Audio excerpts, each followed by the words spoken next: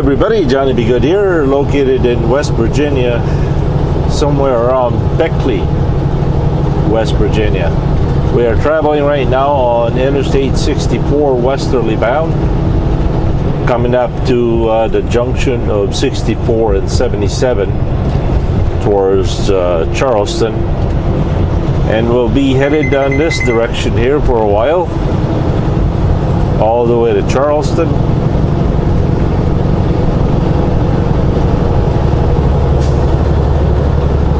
Once again, today is July the 10th, 2014. Local time here is 7:55 p.m. Temperature is a beautiful, beautiful 76 degrees.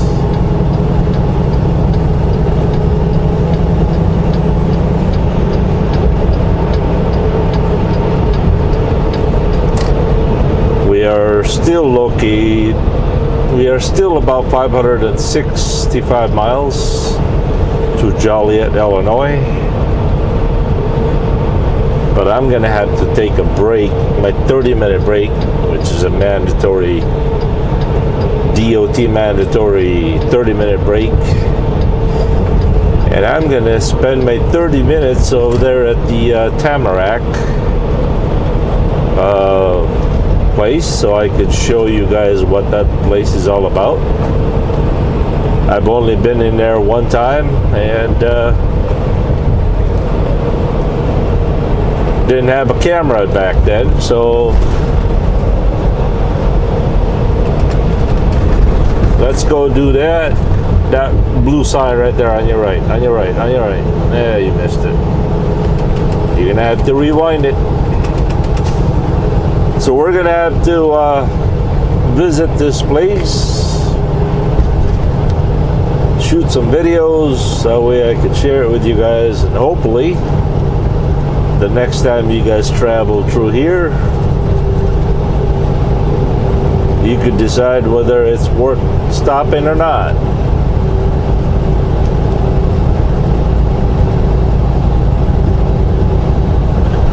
So for now, welcome to Beckley, West Virginia. Every time I say West Virginia, gotta think of John Denver.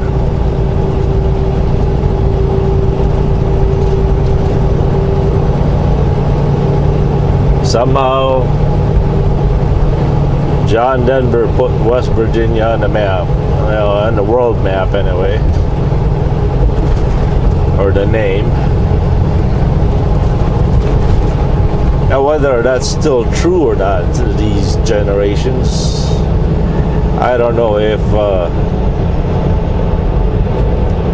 if the young generation had picked up that song, but I suspect that's a timeless, ageless song that will live for a long, long, long time.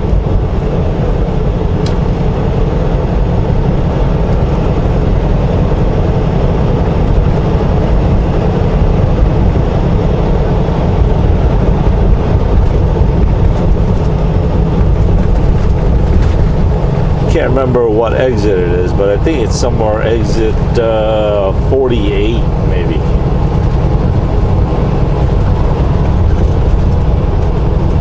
we actually had to exit onto the service plaza because this is kind of considered the toll road here, West Virginia toll road.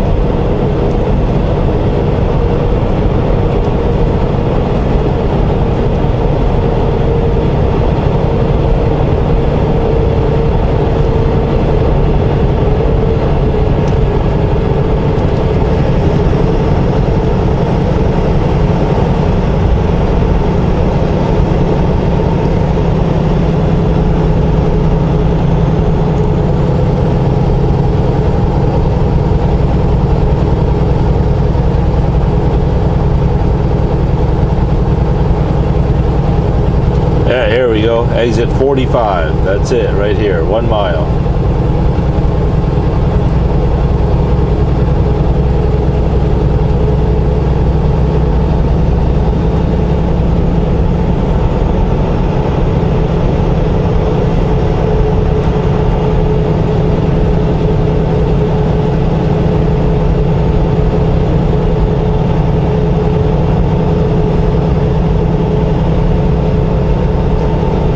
Now, if you are a truck driver, just for the sake of conversation, you won the lottery big time. I mean, real big. Would you open up a truck stop or would you open up a trucking company? I I would open up a truck stop. Can you imagine if you had a if a truck stop was owned by a truck driver?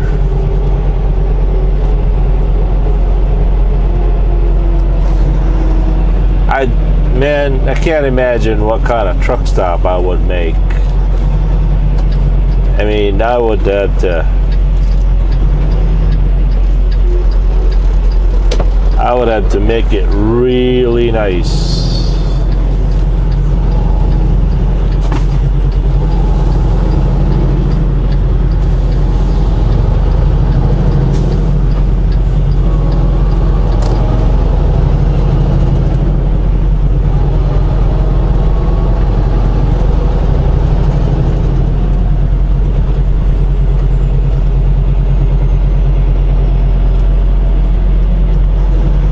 Then I would have a couple of trucks of my own.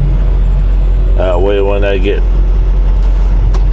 when I get tired and I get bored of truck stop duty, I'll go trucking for a while.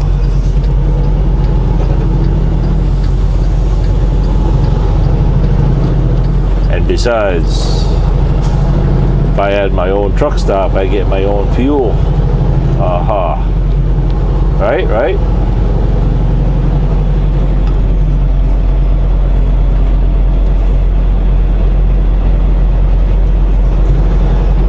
I wonder if trucks are allowed up there. Now, let's go through here anyway. The place that we're headed for, I don't know if they're closed. It's 8 o'clock over here now. Oh dear. The place we're headed for is that weird building right there on the on the right.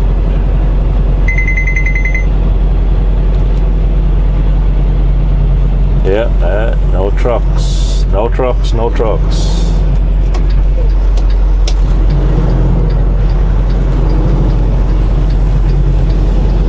And this place is horrible to find a place to park after hours.